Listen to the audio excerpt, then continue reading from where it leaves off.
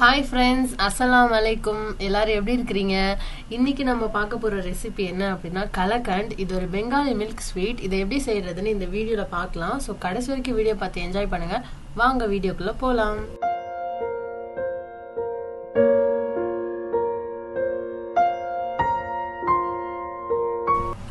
ஒரு பாத்திரத்தில் ஒரு லிட்டர் ரா மில்க் ஆட் பண்ணிக்கோங்க.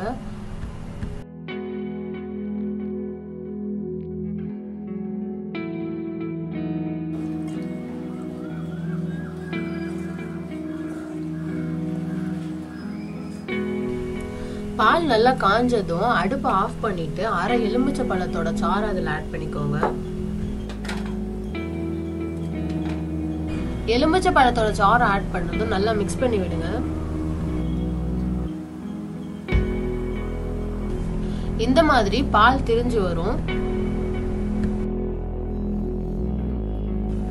இப்ப அதை நம்ம வடிகட்டி எடுத்துக்கலாம். எலுமிச்சை பழத்தோட வாசனை போறதுக்காக கோல்டு வாட்டர்ல நல்லா அலசிக்கோங்க.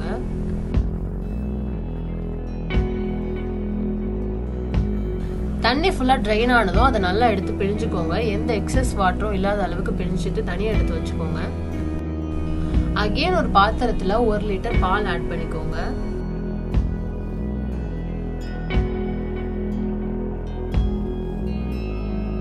பால் நல்லா காஞ்சு பாதி அளவு ஆகுற அளவுக்கு கொதிக்க விடுங்க. இந்த ஸ்டேஜ்ல ரெண்டு ஏலக்காவை தட்டி ஆட் பண்ணிக்கோங்க. இப்போ இதுல நம்ம தனியா எடுத்து வச்சிருந்த பாலாடையை ஆட் பண்ணலாம்.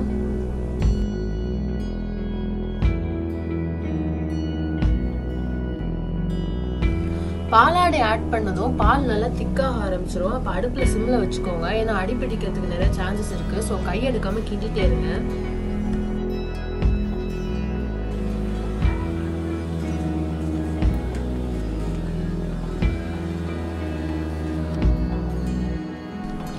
இப்போ நம்ம இதுல ஜீனி ஆட் பண்ணலாம். நான் வந்து அரை கப் ஜீனி ஆட் பண்றேன். ஒன் டுவெண்ட்டி ஃபைவ் கிராம்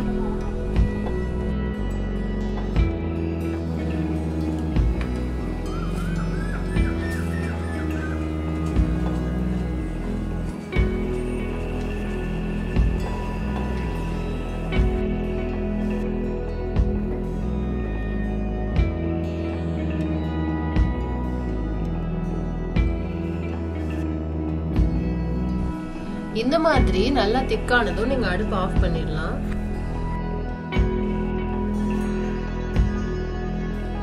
ஒரு கண்டெய்னர்ல நெய் பிரஷ் பண்ணி வச்சுக்கோங்க.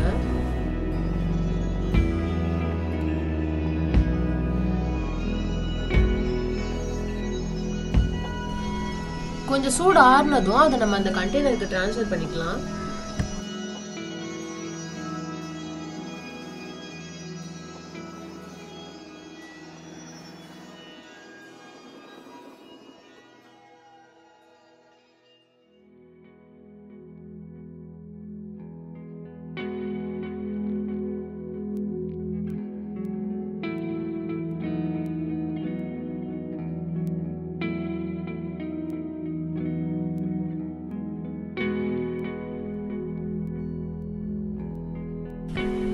கார்னிஷிங்காக நான் பிஸ்தாச்சுவை கட் பண்ணி ஆட் பண்ணிக்கிறேன்.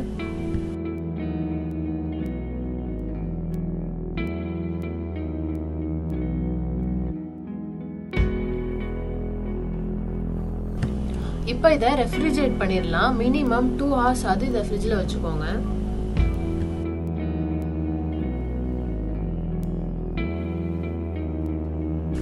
ஃப்ரிட்ஜில் இருந்து எடுத்ததும் அதை கட் பண்ணிக்கோங்க.